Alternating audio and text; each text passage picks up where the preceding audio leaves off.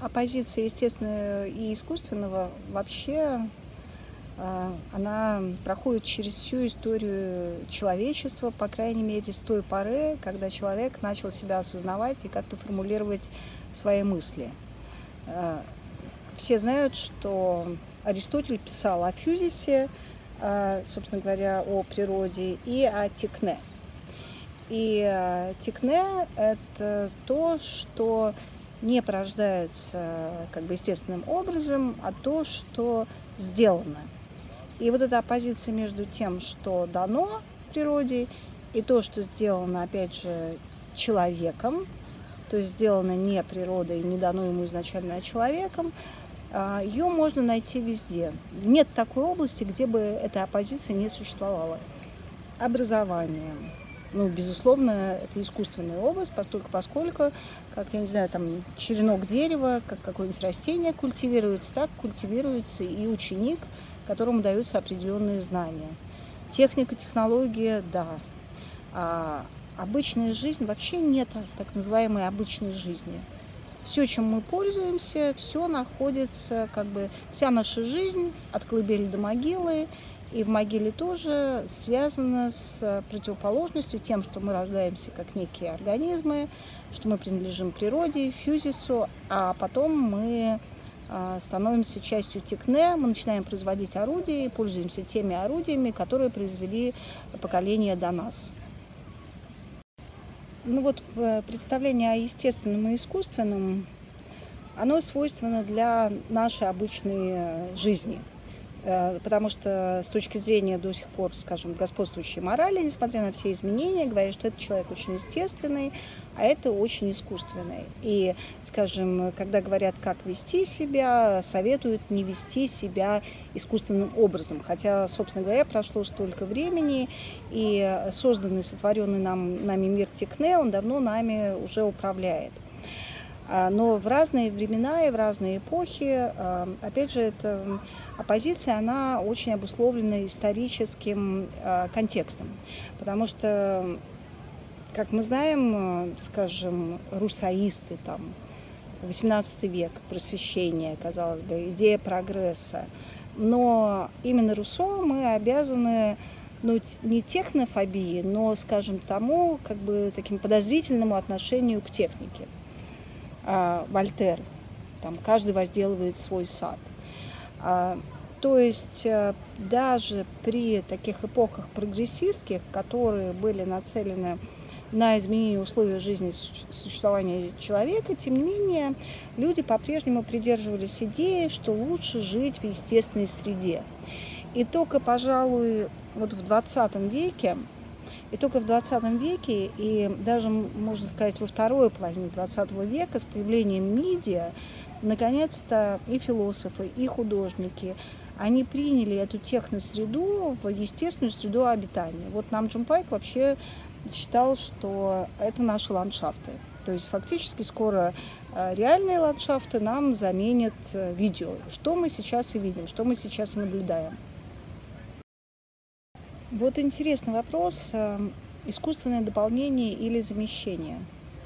Ну, наверное, с появлением Тикне это было и тем, и другим. С одной стороны, когда появилась первая там первый камень выточил человек, чтобы из него сделать скребок, или там взял, как в Одиссее 2001, там э, человекообразный, или там взял, например, кость животного, то это, конечно, дополнение. Это такой технологический процесс, про, как бы протез, который позволяет человеку выжить.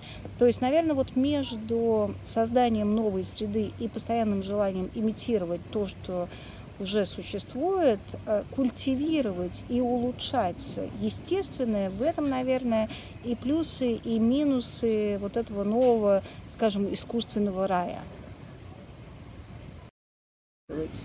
Что является, что хорошо, что плохо? Как известно, очень многие, так сказать, благие цели, они заканчивались катастрофой, они заканчивались а, такими ужасными последствиями, которые человек даже себе представить не мог. И вот эта вот его, так сказать, создательная деятельность человека, она меняет его самого, но непонятно, к чему она его приводит. То есть, может быть, любовь к себе, представление о том, каким должен быть человек, и это никак не воплощается, и поэтому не остается ничего другого, как только разрушить весь мир. Ну, человек довольно стойкое животное, и выдерживал многое, там, эпидемии, войны, э, природные катаклизмы. И, наверное, вот эту имитацию естественной среды каким-то образом он все-таки тоже переживет и выживет. Для чего? То есть, по-видимому, это такая, то есть мы обладаем таким э, крепким, э, я не знаю, естественным хочется сказать механизм, но это получится как бы противоречие, естественный механизм. Мы бы как бы говорим в данном случае с точки зрения механизации. А, как известно, э, как бы не человеческое, не параметры человеческого тела, не температура, не, собственно говоря, даже как бы сознание особенно не менялось на протяжении всех этих тысячелетий и тысячелетий. Но что же происходит сейчас? Человек думает о том, а, как бы ему все-таки выжить и как бы ему а, а, как бы обрести некие, некие бонусы от, тех технолог... от той развивающейся технологии, свидетелем которой он становится. Сначала человек думал, что значит имплантация, но как мы знаем, что об имплантации говорили еще довольно давно, ну, там пример там, 20 века это Беляев, Александр Беляев, писатель про имплантологию, которая сейчас стала, в общем-то, почти а, реальностью. Да, если у человека что-то не так с ногой, рукой, головой, печенью, то это можно заменить, и он будет, вот опять механистическое слово, функционировать. Но изменит ли это самого человека? В, опять же, научной фантастике и в фильмах ужасов мы знаем, что, например, там человек какой-то получает, я не знаю, тело убийцы или наоборот голову или сердце убийцы, и у него начинают мучить кошмары, и он думает, что же с ним случилось, а потом оказывается, вот так научная фантастика пыталась представить, как человеку передается свойство с каким-то полученным органом. Конечно же, это, наверное, не имеет основания, но в этом есть какая-то доля вины. А другая, а, другой способ – это когда человек перепоручает свое тело кому-то другому. Хорошо, это тело не может бегать, скажем, плавать, тогда либо человек в виртуальной реальности становится, почему таким стал популярным кинофильм «Аватар», да? Как мы помним, что именно вот этот солдат, который не мог на самом деле передвигаться и был там покалечен, он совершает волшебные прыжки в этом воображаемом мире. И я даже знаю, что очень там, кстати, очень многим художникам он понравился, не буду называть имена и прочее. То есть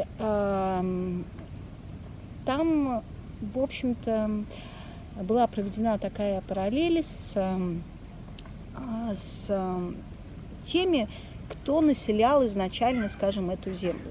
Ну, скажем, известно, что когда проходили великие географические открытия, то люди, которые там жили, они совершенно безжалостно уничтожались, потому что они были другими.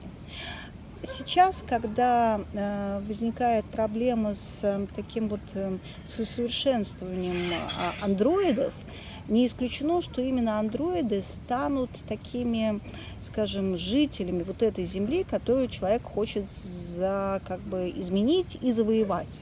Поэтому мы видим э, такой популярностью пользуются такие фильмы, как «Бегущий по лезвию бритвы», его сиквел, да, и начинается борьба за права не человека, non-human, то есть не человек, значит, не живой, не человек это андроид, не человек, то есть э, человек с одной стороны пытается всех потеснить, все завоевать и все использовать, а с другой стороны, он эм, как бы создает некое подобие себя, и э, это желание создать подобие себя, которому можно поручить, с одной стороны, очень такой тяжелый труд, а с другой стороны, если ты это подобие создал, ты не можешь с ним плохо обращаться. Тогда ты таким образом очень плохо обращаешься сам с собой. То есть ты ставишь перед собой такое технологическое зеркало.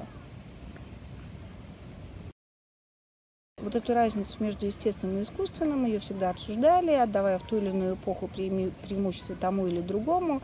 Но, скажем, опять же, 18 век при, всем, э, при всей любви к прогрессу все-таки э, предпочитал увлечение природой и отвержение техники.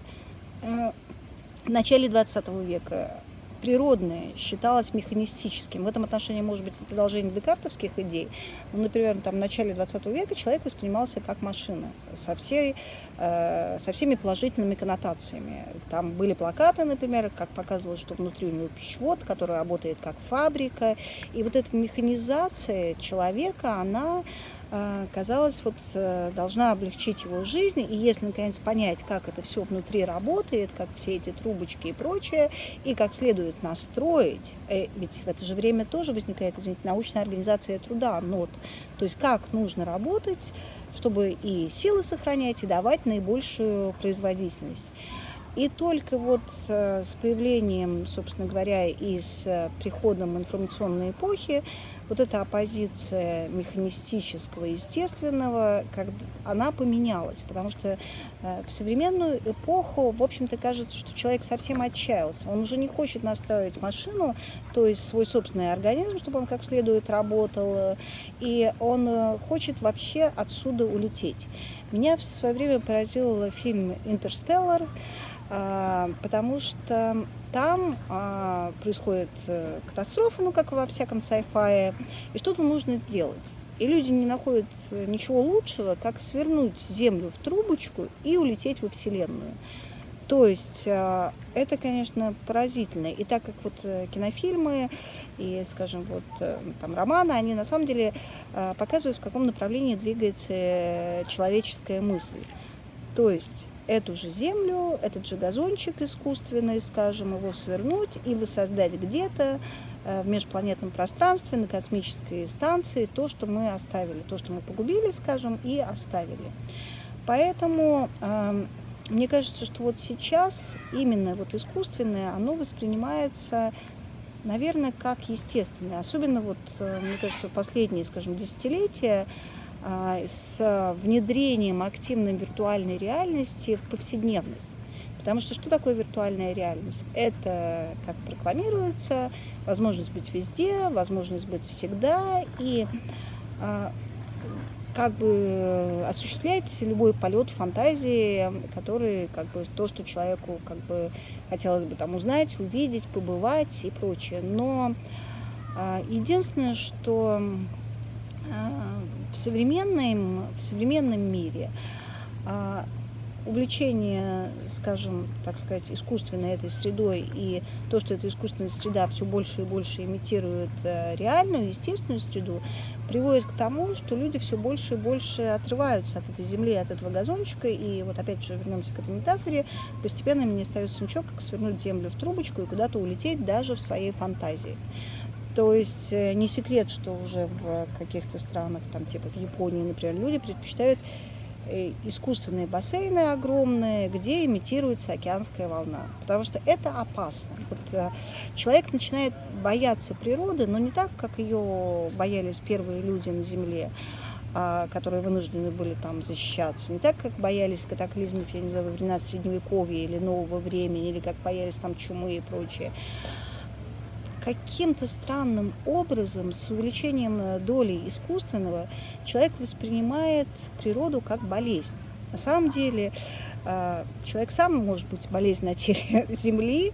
Об этом неоднократно очень многие говорили, потому что все, что он производит на этой Земле, э, ее совершенно непоправимым образом изменяет, включая там климат и прочее. Но это боязнь заразиться природой, то есть природа и естественное это какая-то инфекция летучая. Люди боятся, а, скажем, плавать в настоящем океане, сидеть на настоящем газончике, потому что они не могут его дезинфицировать не только с точки зрения медицинской, они не могут его символически дезинфицировать. Вот эта привычка к виртуальной реальности и к тому, что искусственное полностью заменит естественное, как кажется, приводит к тому, что все, что человека окружает, оно вызывает ужас просто, оно вызывает ужас. Виртуальная реальность возникла у нас на глазах, технологическая. А, стала возможна сегодня с помощью новых компьютерных технологий. С другой стороны, можно сказать, что мы знаем ее уже давно, что все искусство И вообще мир фантазии – это есть мир виртуальной и возможной реальности. Возьмем там обманки на э, помпейских фресок, э, в Помпеях, на стенах вилл, когда, например, глухая стена, она превращается в аркаду, и там мы видим каких-то птичек, там мы видим ландшафты.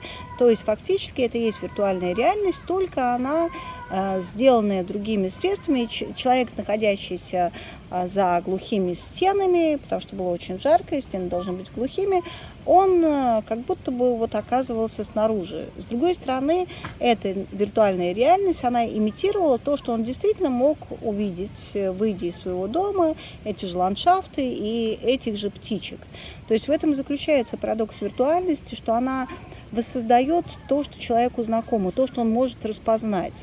Ну вот э, один из таких, как мне кажется, лоу-тех аппаратов виртуальной реальности, который мне очень понравился, я видела в «Звездном городке». А, там показывают видео, да, которое было передано с Марса, экран. И космонавт после длительного э, путешествия космического, вернувшись там, когда он летал там полгода или год, его надевают в этот тяжелые скафандры, и создает ему ту силу тяжести, которая будет на Марсе. И он должен совершать какие-то простейшие действия. Это имитация, для чего она создается? С одной стороны, для того, чтобы э, э, для тренировки, для того, чтобы оказаться и подготовить себя к тому, что ты к чему-то еще не подготовлен, причем подготовить чисто физиологически, но и одновременно для того, чтобы покинуть вот этот мир, эту среду естественную, где ты рожден, и которая тебе по тем или иным причинам надоела, стала скучна, и тебе хочется куда-то уехать, вот спать. То есть в начале века все стремились к увеличению скоростей, и, э, скажем, пароходы и поезда сменились самолетами, стали думать о ракетах, появились ракеты, скорость наращивалась и наращивалась, а потом стало понятно, что физическое тело уже не может больше, собственно говоря, преодолевать эти скорости. Оно само по себе изменится. И есть некий предел, скорость света, но человек как таковой ее испытать не сможет. Это будет уже не человек. Соответственно, только с помощью виртуальной реальности мы можем представить, что такое быть не человеком. Возможно, в этом смысле это тоже некий тест.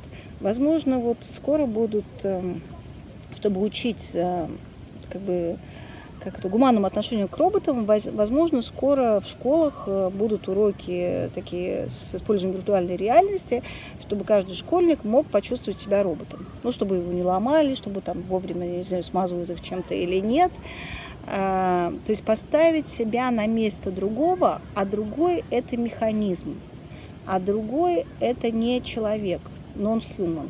Другое – это что-то другое, то есть то, что нам незнакомо. Человек так долго все завоевывал и сосредоточился, сосредоточился так долго на своей собственной персоне, что вот, возможно, желание почувствовать себя роботом, чтобы не причинить ему вреда, это будет таким вот не трансгуманизмом, не постгуманизмом, а вот переосмыслением своей роли и судьбы непростого человека, который все время находится на границе искусственного и естественного, потому что вот он появился как вид, вот он видоизменяется, он меняет условия, он меняет планету Земля и другие планеты э, для себя. И в какой-то момент он начинает чувствовать ответственность перед тем миром, который он породил.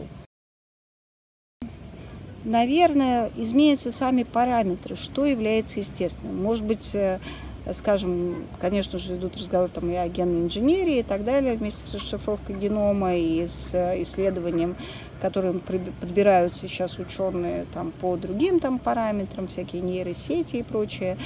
То есть, наверное, если он может внедриться в, скажем, в свою, потребим это слово, естественную природу, рожденного как человека, тогда он будет уже сконструирован. И когда мы говорим о трансформации человека и об изменении вообще сферы общения, а, можно сказать, что человек, э, конечно же, принимает на себя функцию Бога, к которому он раньше обращался. Теперь он обращается сам к себе. Есть анекдот, который очень любит Славы Жижик.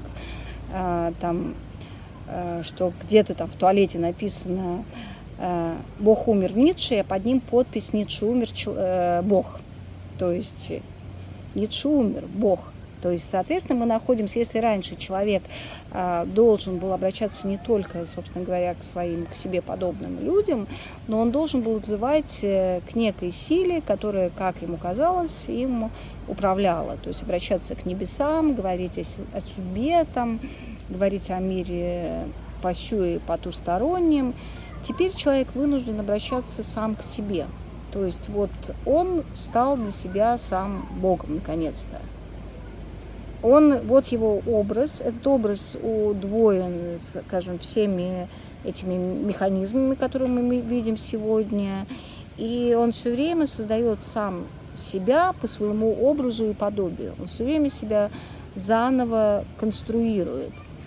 Это еще называют нарциссическим расстройством, потому что, одной стороны, кажется, что вот человек, он наследует как бы вот эту легенду, воплощает буквально о нарциссе, который сам в себя влюбился, увидев свое отображение в воде. Но человек, наоборот, не может себя увидеть, когда он все время там делает селфи. И это понятно, что человек себя просто не видит. Он пытается себя найти по кусочкам. Он очень быстро живет.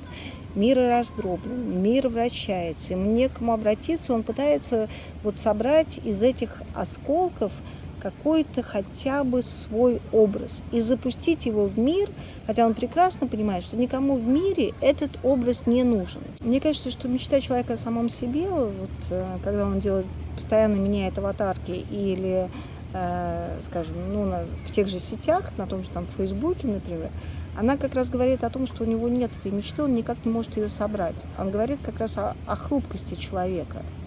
То есть это образ, который человек постоянно меняет. Человек все время как бы пробует, потому что появился такой механизм, который позволяет ему воплотить некое представление о себе.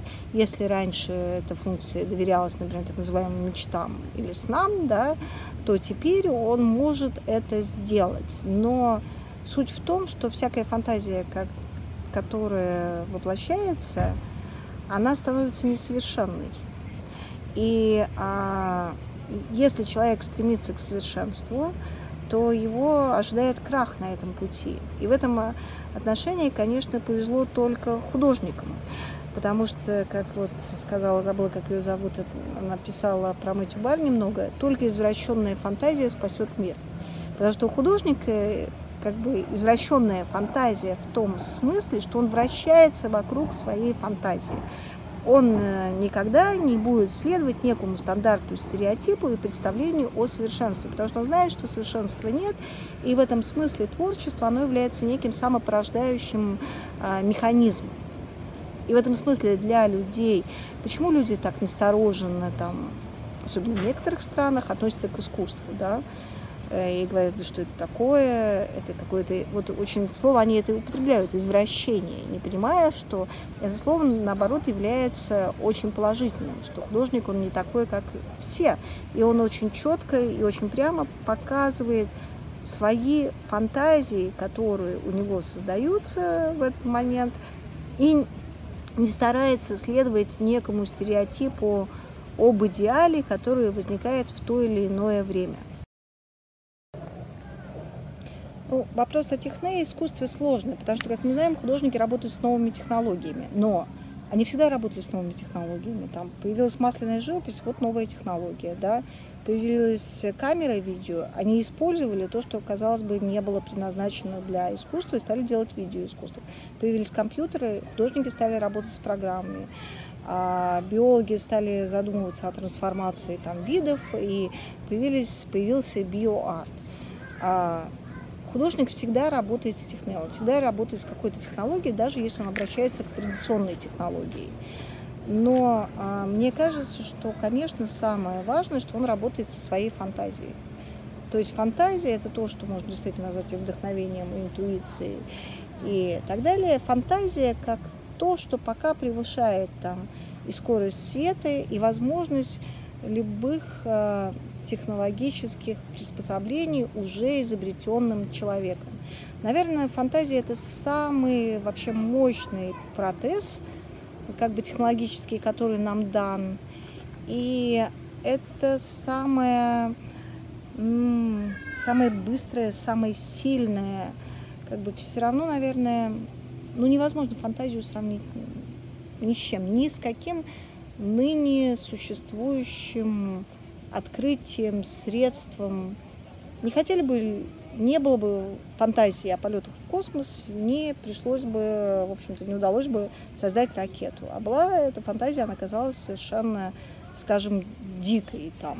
И, как известно, и к Циолковскому как относились, и к Роберту Годдару, Годдарду как относились, и там, ну, в общем, э, это целая история о том, э, как смеялись и считали совершенными чудаками людей, э, которые говорили о чем-то, что сейчас не существует.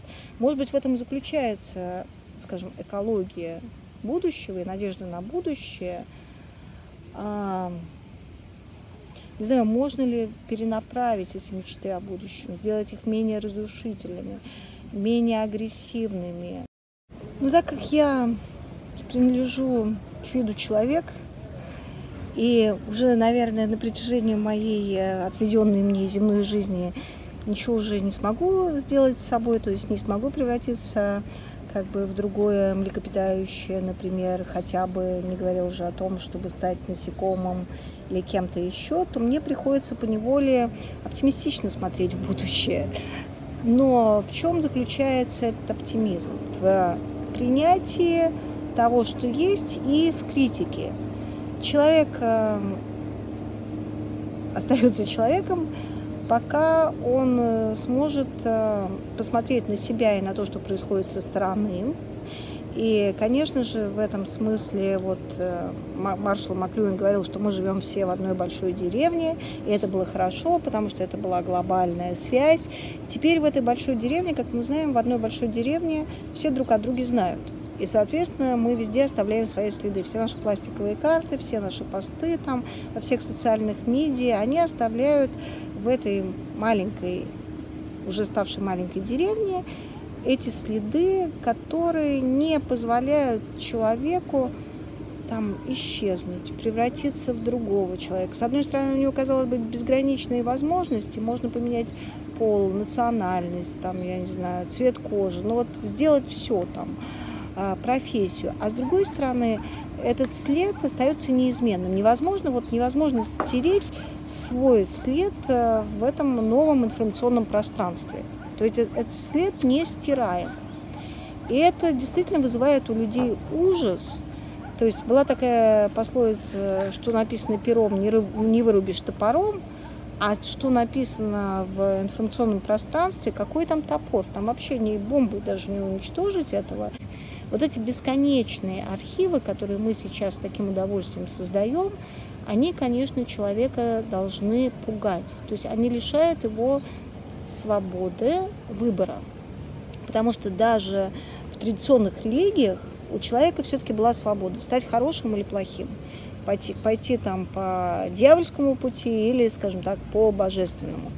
А когда за тобой этот след тянется, ты уже становишься совершенно, э, как бы, ты ничего не можешь сделать. И люди с радостью сдают все о себе, там, кровь, пульс и прочее. Вот э, как раз мы смотрели, Люда, твою работу, э, там за 10 лет до изобретения Apple Watch ты присоединила, как бы показала, как анализ крови все время сдается компьютеру.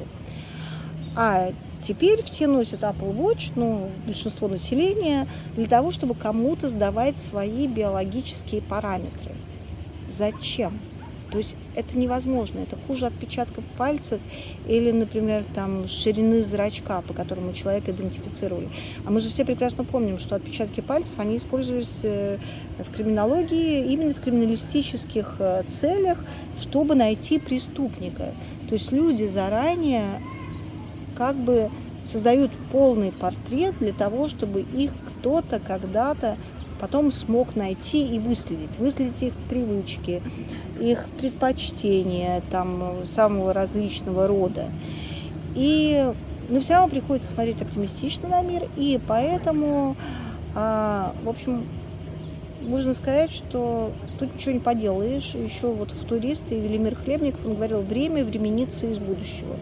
Оно все равно приходит время из будущего, то время, которое мы проживаем, и, но мы уже смотрим на него не как будетляне, а мы смотрим на это приходящее время. Единственный способ, каким мы можем уловить его ход, это не то чтобы отстраниться, но попробовать хоть немножко относиться критически и немножко сдвинуться все-таки с этой позиции а, человека а, и к полного доверия к себе как к человеку, что все, что мы делаем, это прогресс, это благо. К счастью, люди от этого отказываются, выкачивают полезные ископаемые из земли.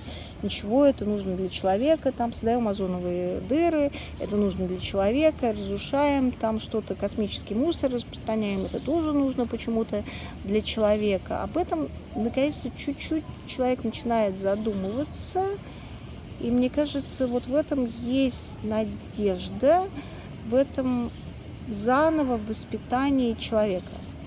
И так как я не только теплокровная, прямоходящая и человек, э, но я еще работаю с искусством, поэтому у меня есть еще надежда на такой вид человека, как художники. Потому что, мне кажется, художник тот, кто критически подходит э, вот к тому, что его окружает, кто сможет, переосмысливая мир, он дает нам сигнал и какие-то прогнозы на будущее. Не надо идти к аналитикам, э, типа экономистам, или там хорошо экологи предскажут, как будет разрушаться там наша планета Земля и прочее. Посмотрите внимательно, посмотрите внимательно на то, что делают художники, и вы увидите, во-первых, что происходит, как и как с этим можно справиться. И таким образом еще заглянуть в самого себя. Опять же, скажем, в тот момент, когда человек утрачивает коммуникацию с себе подобным и начинает создавать свои подобия, будь в интернет-реальности или андроидов начинает штамповать для различных целей, будь то, чтобы служить его как бы помощником в различных областях, а, в этот момент человеку нужен какой-то экран, на который он может посмотреть и остановиться. И я верю в искусство.